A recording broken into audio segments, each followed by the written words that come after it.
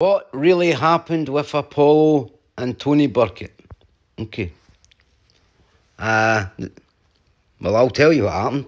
The double bluff was played, and uh, for anybody looking in, I need to give him it. Tony won it, yeah, because what really happened was uh, I made uh, contact with Paul Ellis.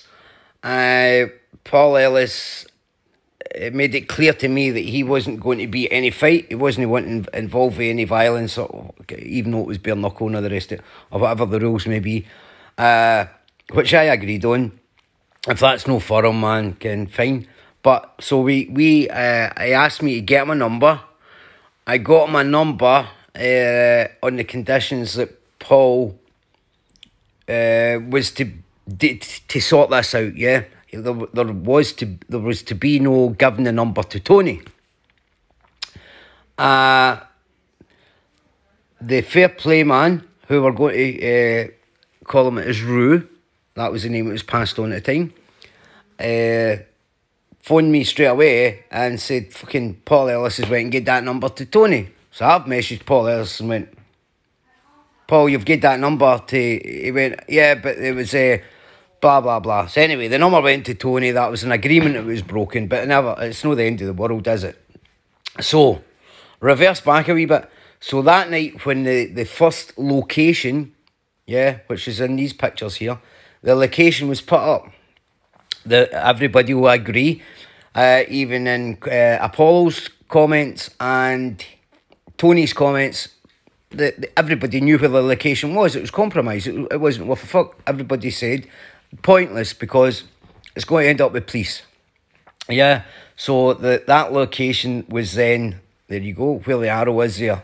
Okay, the line up there from the roundabout, roundabout's a pathway. It was compromised. Everybody knew where it was. However, so reversing back a wee bit, when I was speaking to Rue and he said, right, so I said, well, you need to talk, uh, talk to Paul Ellis about it. Paul Ellis was online because I was messaging him at the exact same time because Rue wasn't to believe me, so I was sending a screenshot of Paul Ellis being online. I said, I am messaging him right now. So he was like, well, look.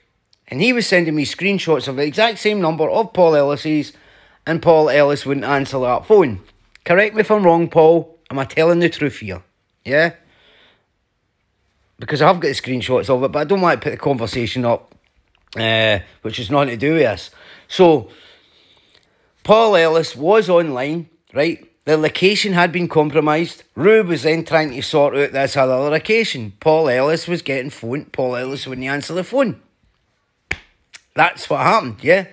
Uh, so, when I seen Paul, I, I got to give him it, right? Listen, guys, if it's content, right? The double bluff was played and he won it, yeah? Because Paul Ellis, the man who wasn't, made it clear, right? He made it clear across uh, to me, he made it clear on his comments and made it clear in the video he would not be there. Tony Burke even said he wouldn't be there. And then all of a sudden, at that location there, it's marked off young green.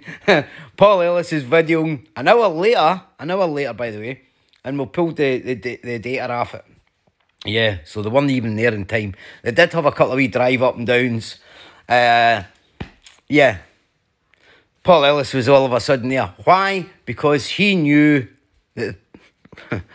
I, I don't know who Apollo is, I'm not interested, right? I do know who the fair play man is. Yeah? So there you have it, guys. And a big, a big uh, apology to Exposure TV, who I also count as a friend. I, Apollo, I don't know. Uh, the fair play man, uh, the, the guy who's got to be the fair play man, I do know him. I will vouch for him. Uh, him and his fine lady, good couple carries the same values as ourselves. Don't be bringing folks' messages online and trying to abuse them and all the rest of it. Uh, that kind of rape gang culture, you know. Uh, it's just not on, is it? It's not on. But anybody looking in, right, and it goes against the grain to say it, but Tony Birkett, anybody looking in, he won that. He called double bluff and he won it. Yeah, all poker face, man. At the end of the day, his hand was shite, and uh, he pulled it. He pulled it off, and he won it. He won it. Anybody looking in, he won it. Paul Ellis made it perfectly clear to Humble Dryer. He made it perfectly clear on his own channel. Tony made it perfectly clear that Paul Ellis wouldn't be there. He wouldn't be there. Now, everybody got to ask themselves why Paul Ellis was all of a sudden there. Well, you don't need to ask yourself, I've just told you, it's because he pulled a double bluff. And, yeah, there you go. Make it that what you will, right? And I'm quite sure Paul Ellis will. Uh, he's not got to call me a liar because he knows I'm right. He knows I was messaging him at the exact same time as Rue was trying to call him. And that's how we knew that I knew Paul Ellis was dinging the calls. Because I'm like, well, I can't be. He's online. Look, he's messaged me back. I was sending him. And he was like, well, look. And he was, Rue was sending me where he was trying to phone Paul. Yeah, it was the same thing. It was just a double bluff and they pulled it off and they won. It's as simple as that. That's what really happened. And I'm quite sure uh, Paul Ellis is not going to come on here and say, nah, John's lying. Because I, don't want to be putting the conversations up. Uh, because that's, again, that's just shit. Uh, I don't want to go there. I'm quite sure. I'm going to say, right, Tony played it with the help of Paul and they won it looking in from outside. But the truth be known, Paul dinged the phone to Rue when the, the, the first location, the only location was compromised. Yay! Get back to his Paul.